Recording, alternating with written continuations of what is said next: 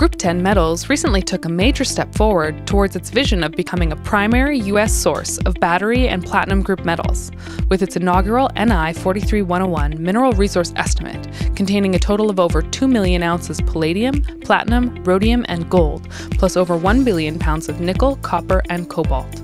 Results from its 2021 drill campaign are pending and are expected to drive expansion of these initial resources. The Stillwater West project is located in a top tier mining district in southern Montana, a resource rich state with a long history of mining and oil and gas production that is seeing increasing interest from major mining companies.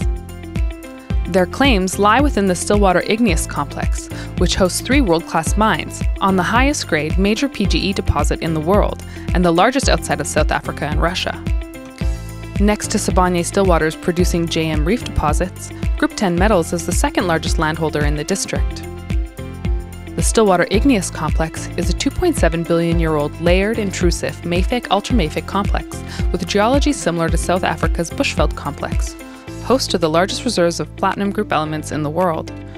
The northern limb of the Bushveld Complex, known as the Platreef, is also a major source of nickel and copper, in large bulk mining operations run by Anglo American and Ivanhoe that are appropriate to the massive sulfide deposits that occur there. In total, the Platreef contains over 400 million ounces platinum group elements and gold, and tens of billions of pounds of nickel and copper.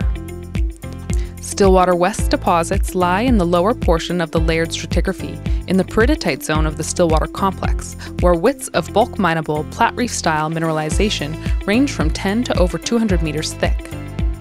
The stratigraphy of layered magmatic systems demonstrates three mineralization types, which are evident in both the Bushveld and Stillwater complexes. High grade reef deposits, platinum group element enriched chromites, and bulk tonnage platinum group element nickel copper sulfide type deposits. Group 10's consolidated claim block and database is uniquely positioned to advance the Platreef in Montana model recently defining five deposits that lie within strongly correlated and coincident soil geochemistry, chargeability, and conductivity anomalies. The 2020 Induced Polarization Survey highlighted very large sulfide targets across the project's core 9 km strike to 800 meters depth, which show a strong correlation with the 2021 resource models. This survey formed a key part of the newly developed predictive geologic model, which guided Group 10's 2020 drill campaign to some of the best intercepts ever seen in the district. The peridotite zone has shown to be highly prospective for precious and base metals in results to date and is correlated to high level, multi kilometer scale anomalies in conductivity, chargeability, and soil geochemistry. The Iron Mountain target area is comprised of four distinct deposits. At the east end of the core project area, Iron Mountain Crescent is the smallest of the 2021 deposit models. However, it shows excellent expansion potential into adjacent areas, guided by coincident anomalies and past drill results not included in the 2021 resource estimate. A long strike to the northwest, the Iron Mountain HGR deposit is the second largest to date. It is defined by 30 drill holes, including campaigns in the 1960s, 2000s, and by Group 10 in 2019. It is open at depth and laterally to the crescent and central target areas. Mineralization at Iron Mountain Central, one kilometer southwest of HGR, is defined by drilling from the 1960s to 2000 and is open at depth and laterally to the HGR and CZ target areas along strike within a multi kilometer target area. The nearby Iron Mountain CZ deposit was explored by AMAX in the 1960s and 70s, including drilling that defined a zone of nickel copper sulfide mineralization. Results from Group 10's 2019 and 2020 drill campaigns returned Platreef style bulk mineralization running over several hundreds of meters in thickness, demonstrating some of the thickest mineralized intercepts and the highest grade thickness values ever recorded in the district.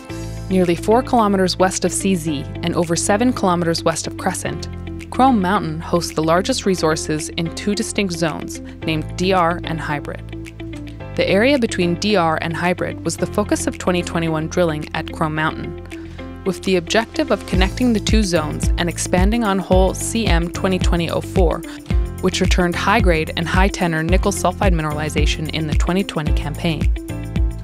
Group 10's work in consolidating the district and applying new geologic models has resulted in the definition of 157 megatons at 0.45% nickel equivalent or 1.2 grams per ton palladium equivalent, for contained metal of over 1.1 billion pounds of battery metals, plus 2.4 million ounces of platinum group elements and gold within the 9 kilometer core of the Stillwater West property. Expansion of the inaugural resource estimates within the core of the project is targeted for 2022 based on pending results from the 2021 drill campaign. Visit Group 10 Metals for more information on Group 10's inaugural National Instrument 43101 Mineral Resource Estimate.